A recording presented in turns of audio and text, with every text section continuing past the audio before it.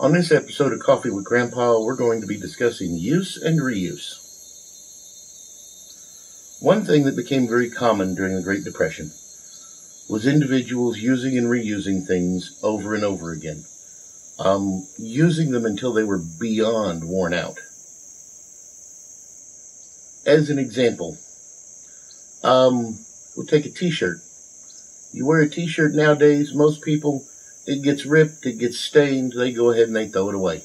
They go get a new t-shirt. A lot of times, t-shirt wouldn't be thrown away. Good cotton t-shirt makes a great cleaning rag. So you get that t-shirt dirty, you go ahead and cut it up, turn it into cleaning rags or rags for washing your car. Maybe you need some char cloth. Go ahead and cut it up and turn it into char cloth.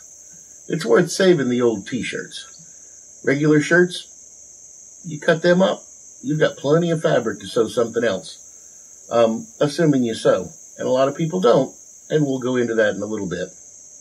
Actually, we'll do some episodes on sewing and specifically. Reusing bacon grease. Keep a cup next to the, the stove. When you make bacon in the morning, you pour that excess grease off into that cup. Later that day, you need some grease to make something. You need a little bit of oil. You use that bacon grease. Now, I still do this, and that is some great stuff. You can just take a, knife to bacon grease and spread it on toast. It tastes great. We use it for a variety of things in cooking, especially when you need a little bit of seasoning. Need to make some biscuits. Put a little bacon grease in them, they taste great. The point is, is that you should use things until they can't be used anymore. You should use them up. You have paid good money for them.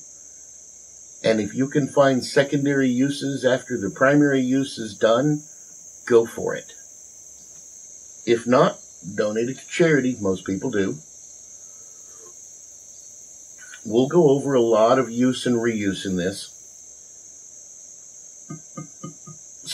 In what ways do you use and reuse things? That's the question for today. So go ahead and post in the comments and tell me what things you use and reuse and how you reuse them after their normal use is up. To quote Benjamin Franklin, he said, The way to wealth is as plain as the way to market. It depends chiefly on two words industry and frugality. That is, waste neither time nor money, but make the best of both. Without industry and frugality, nothing will do, and with them, everything. Again, Benjamin Franklin.